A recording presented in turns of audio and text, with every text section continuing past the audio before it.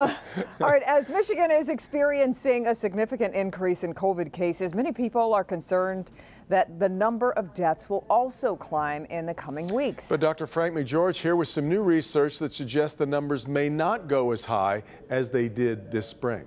Frank? People who have been watching the numbers have probably noticed that the case fatality rate, that's the number of people who die compared to the number of people diagnosed with COVID, has actually fallen since the beginning of the pandemic. Now, some have suggested that could, at least in part, be explained by more testing and diagnosis in younger, healthier people. But two new papers, one published in Critical Care Medicine and the other published in the Journal of Hospital Medicine, suggest there is more to it. The first study looked at over 21,000 hospital admissions in England. They found death rates were highest in late March when it was 41% for COVID patients in the ICU, compared to a much lower 21% for similar patients during June. Now, the second study looked at over 5,000 patients admitted with COVID 19 to a New York hospital system.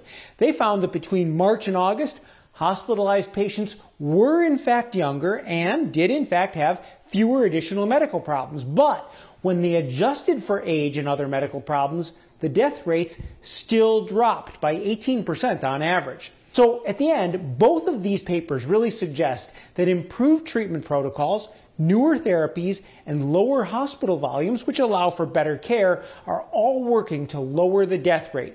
Notably, though, the authors of both papers pointed out that although they found a decrease in the death rate over time, it is still unacceptably high. And if hospital systems become overtaxed again, they could certainly increase.